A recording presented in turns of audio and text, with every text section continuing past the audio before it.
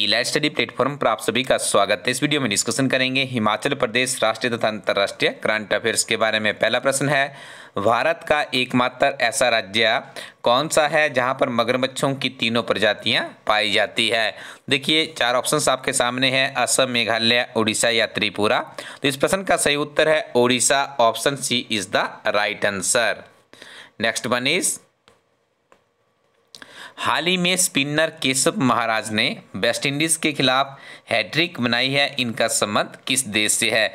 New Zealand, Pakistan, दक्षिण Africa या फिर भारत? तो याद रखिएगा, केशव महाराज का संबंध है दक्षिण अफ्रीका से। इन्होंने अपने क्रिकेट करियर की पहली हैट्रिक हैट्रिक बनाई है। रिलायंस इंडस्ट्रीज़ लिमिटेड द्वारा किस वर्ष तक शुद्ध शून्य कार्बन उत्सर्जन का लक्ष्य निर्धारित किया है। तो इनके द्वारा लक्ष्य निर्धारित किया गया है वर्ष 2035 तक का ऑप्शन ए। इस प्रश्न का बिल्कुल सही उत्तर है। भारतीय वायुसेना में पहली महिला फाइटर पायलट कौन बनी है? चारों ऑप्शन आप जल्दी से पढ़ लीजिएगा। तो आपको यहाँ पे बता दें, इस प्रश्न का सही उत्तर है माब्या सुडान। और याद रखिएगा, इनका संबंध है जम्मू कश्मीर से। जम्मू कश्मीर वर्तमान में हिमाचल प्रदेश का केंद्र शासित प्रदेश है। साथ में याद रखिएगा, हिमाचल प्रदेश में इस समय अट्ठाईस स्टेट्स है और आठ राज्य है। आठ केंद्र शासित प्रदेश है। यदि हम बात करें तो कुल थर्टी हमारे भारत में राज्य तथा केंद्र शासित प्रदेश है। ये प्रश्न भी समसामयिक है। एक दो बार विभिन्न तरह के एग्ज़ाम्स में इसको ये प्रश्न पूछा भी जा चुका है।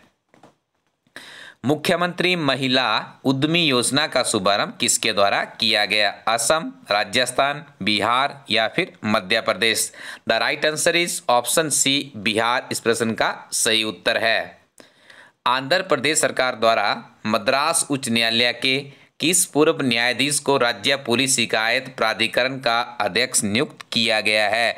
चारों ऑप्शन आपको जल्दी से पढ़नी है और आपको यहाँ पे बता दें, इस प्रश्न का सही उत्तर है, न्यायमूर्ति B Kanagaraj option D is the right answer.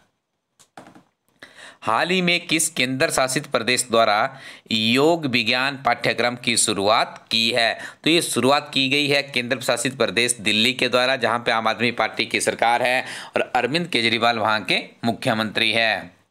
अंतर्राष्ट्रीय संक्रांति उत्सव किस उत्सव दिवस कब मनाया जाता है? तो याद रखिएगा, अंतर्राष्ट्रीय संक्रांति उत्सव मनाया जाता है 21 जून को और 21 जून को ही अंतर्राष्ट्रीय योग दिवस भी मनाया जाता है, ये भी आपको याद रखना है। और 20 जून को मनाया जाता है विश्व शरणार्थी दिवस, ये प्रश्न भी आपके लिए इम्पोर्टेंट है। संयुक्त राष्ट्र लोक सेवा दिवस कब मनाया जाता है। तो इसकी डेट आपने याद रखनी है ट्वेंटी थ्री जून को बनाया जाता है संयुक्त राष्ट्र लोक सेवा दिवस। आगे हम डिस्कशन करेंगे हिमाचल प्रदेश के बहुत ही महत्वपूर्ण करंट अफेयर्स के बारे में। पहला प्रश्न है, हिमाचल प्रदेश के किस रेलवे ट्रैक पर गोवा की तर्ज पर सेवाएँ शुरू होगी? जल्दी से चारों ऑप्शन आप स्वयं पढ़ लीजिएगा। तो ये शुरुआत की जा रही है कालका शिमला रेलवे ट्रैक पे, जो कि यूनेस्को यूनेस्को की जो हिस्टोरिकल साइट्स है, उसमें भी ये ट्रैक इंक्लूड किया जा चुका है। साथ में आपको ये फैक्ट भी याद रखना होगा गोवा में सैलानियों के लिए चलने वाली हॉप ऑन हॉप ऑफ़ बस सेवा की तर्ज पर उत्तर रेलवे, कालका और शिमला के बीच hop on hop off rail सेवा शुरू करने जा रही है। तो ये प्रश्न आपके लिए इंपॉर्टेंट है याद रखिएगा जो हमारा शिमला और कालका वाला ट्रैक है, किसके अंतर्गत आता है? उत्तर रेलवे के अंतर्गत आता है। समदो ग्राम्फू और तांदी, संसाली, नाला किस जिला में स्थित है? किन्नौर, चंबा, सिरमौर या फिर लाहौल स्पीति।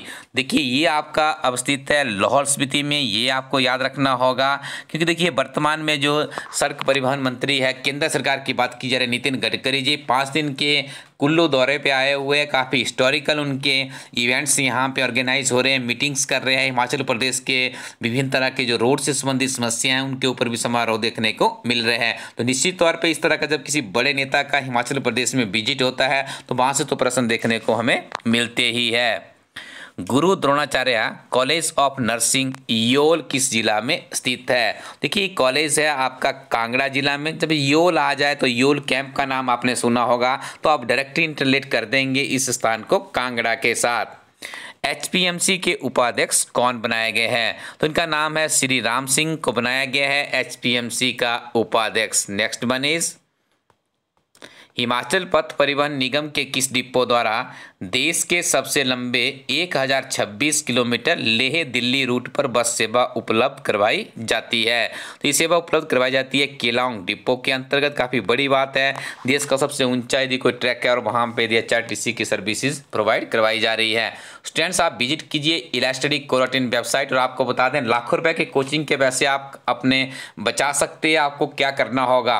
आपको जिस एग्ज़ाम में आप बैठने जा रहे हैं, उसके प्रीवियस सॉल्व पेपर आपको पढ़ने हैं। अच्छे से पेपर सॉल्व किए होने चाहिए। डिस्क्रिप्शन भी साथ में इंक्लूड किए होने चाहिए, क्योंकि डिस्क्रिप्शन से नए प्रश्न बनते हैं। तो हमारी टीम आप लोगों के लिए लेकर आई है एच और एच के प्रीवियस सॉल्व पेपर की किताब।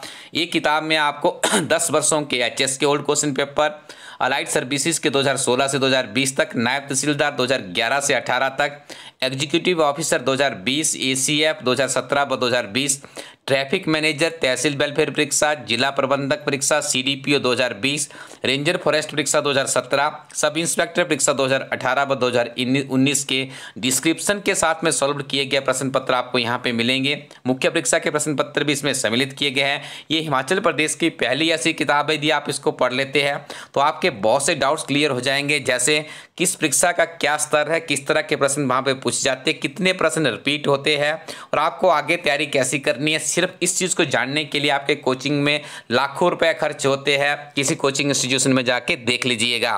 तो ये चीज़ें आपको मिलती है सारी की सारी किताब में, अपने नज़दीकी शॉपकीपर के पास या इला स्टडी कोरोटिन वेबसाइट से आप इस किताब को घर बैठे प्राप्त कर सकते हो।